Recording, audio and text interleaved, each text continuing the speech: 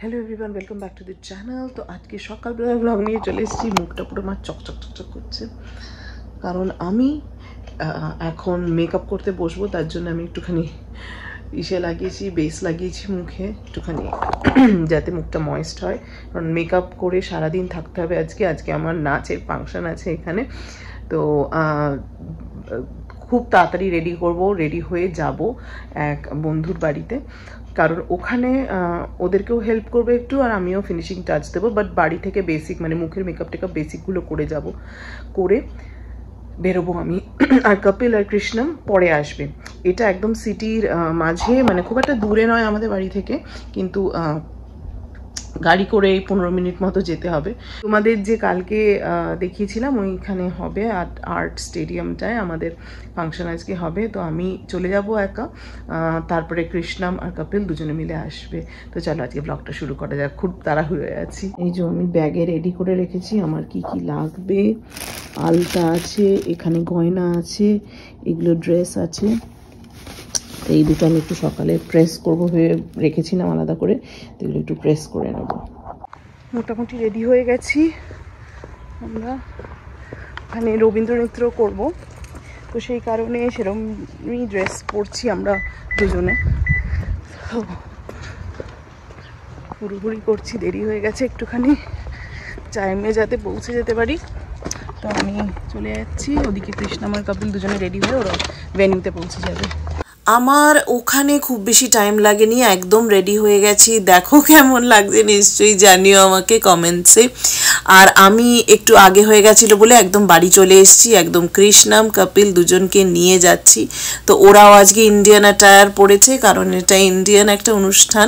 Indian culture showcase করা হয়েছে, তো সেই জন্য ওরা ইন্ডিয়ান পাঞ্জাবিই পড়েছে তো চলো ভেনুতে যাওয়া যাক, কেমন হচ্ছে, কি হচ্ছে, সব দেখাই তোমাদের।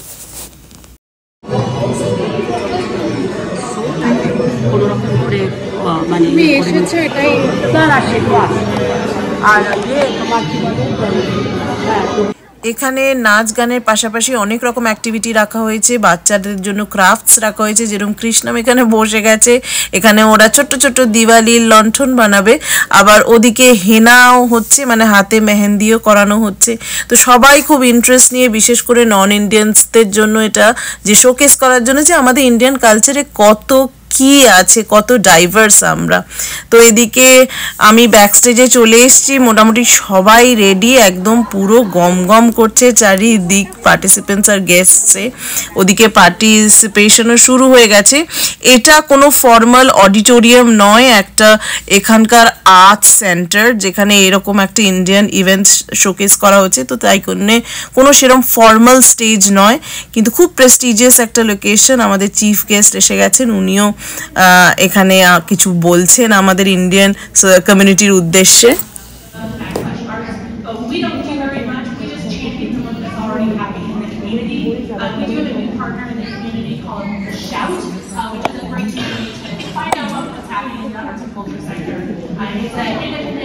আমার নাচটা আগের দিনই চ্যানেলে পোস্ট করেছিলাম, এই ভিডিওতে আর বেশি দেখালাম না, কারণ কপি রাইটসের কিছু ইস্যুও হতে পারে। তো সেই কারণে তোমরা আগের ভিডিওটা নিশ্চয়ই চেক করো আমাদের নাচটা পুরো দেখার জন্য। কিন্তু খুব আনন্দ পেয়েছি রবীন্দ্রনৃত্য একটা সবার সামনে পরিবেশন করে। আর আমাদের নাচ ছাড়াও এখানে নানান ধরনের নাচ করানো, দেখানো হয়েছে। ইন্ডিয়ার বলিউড ডান্সও ছিল, যেটা সবাই খুব এনজয় করেছে এবং নানান এখানকার লোকাল লোকেরাও সেগুলোতে পার্টিসিপেট করেছিল। তাছাড়া সব থেকে মজার ছিল, এখানে ইন্ডিয়ার নানান প্রান্তের শাড়ির নানান ধরনের একটা ফ্যাশন শো কোন প্রান্তে কীরকম ভাবে শাড়ি পরা হয়। তো যাই হোক, আমাদের হয়ে গেছে মোটামুটি ফাংশন এখানে শেষ, এবার বাড়ি যাওয়ার পালা। হয়ে গেছে পারফরমেন্স কৃষ্ণা, এদিকে এসো, এদিকে, না না, ওগুলো ধরো না, নোংরা। তো চলো বাড়ি যাই এবারে। ব্লগটা এখানে শেষ করছি। আবার ফিরে আসব নতুন ব্লগ নিয়ে। সবাই ভালো থেকো, সুস্থ থেকো।